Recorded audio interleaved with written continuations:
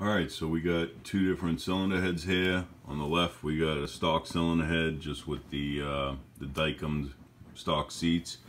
And then over here we have the cylinder head that I have designed. Um, it's the uh, stock appearing cylinder head. And uh, again with the Dykem blue seats. Um, you could see clearly in this video uh, the differences that have been made.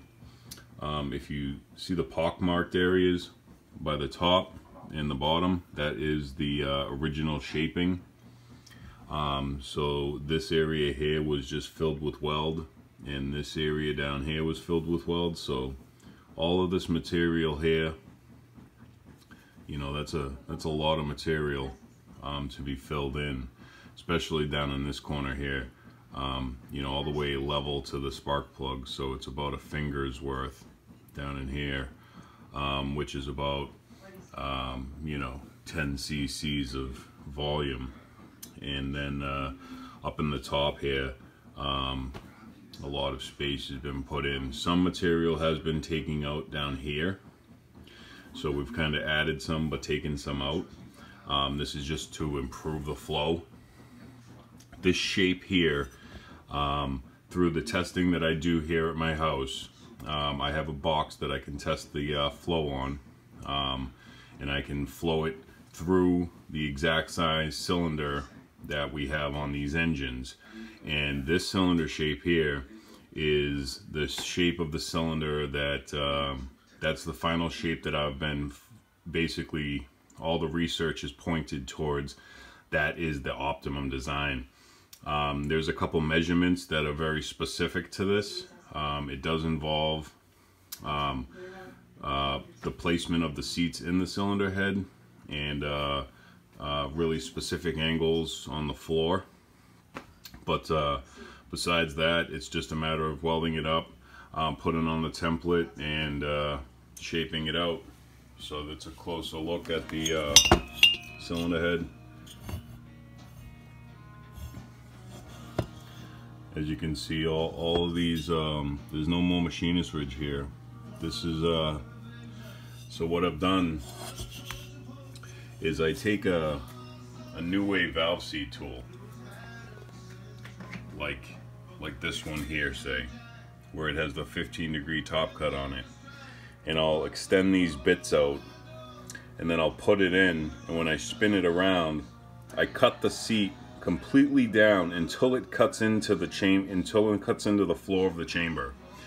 And that's what gives me the angle so this entire top from the very edge now this doesn't have 45s cutting it yet.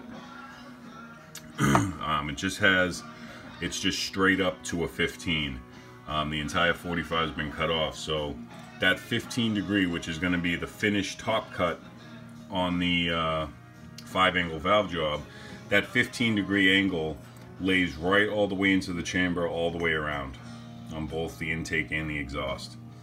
So this transition from this all the way from the, the sharp edge of the seat all the way out is all 15 degrees, which is what gives um, my head such an advantage. Well, there's a bunch of things that do, but if you look at these stock seats, it's kind of hard to see now because I have the uh, the on there.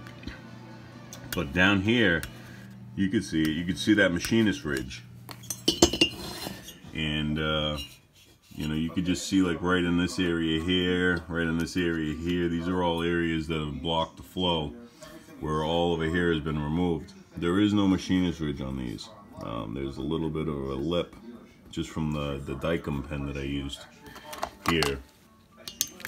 But um, there's there's uh, zero, this is 100% smooth from the seat out.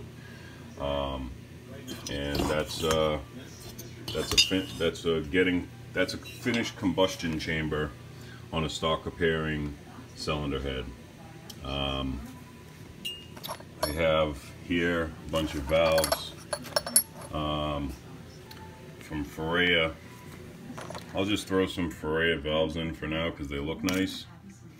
And we'll take a look and see how those look. So we'll just go ahead and throw a 38, 34 in. Um, that way you can see how the finished product will look. Um, it's a really nice cylinder head. It's much, much, much better improved than the uh, stock. So we'll take those same valves and put them in a stock cylinder head.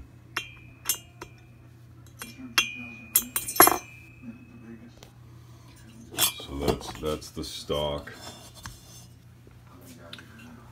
And then that's that's the new one over here on the left.